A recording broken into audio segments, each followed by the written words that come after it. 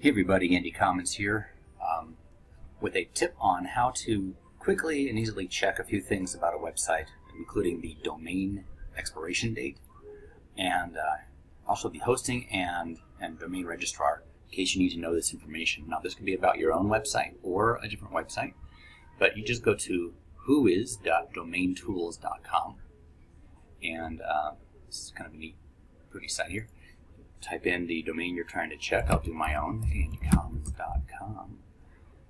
And it will bring back the whois information, which is the public record of um, who owns the domain.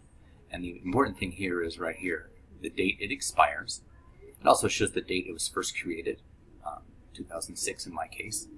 And um, then the expiration date, which is the important thing. You don't want your uh, domain to expire. That's really bad. Um, it's also showing that it's you know I can pick up on the fact that my server is at Bluehost, the name server, which means that's where it's uh, registered um, for hosting. And the whois server here is GoDaddy, so this tells you that I brought the domain through GoDaddy. Um, so there's a good, uh, helpful site you might enjoy. And um, if you have any questions, let me know. Hope that helps, and have a great day.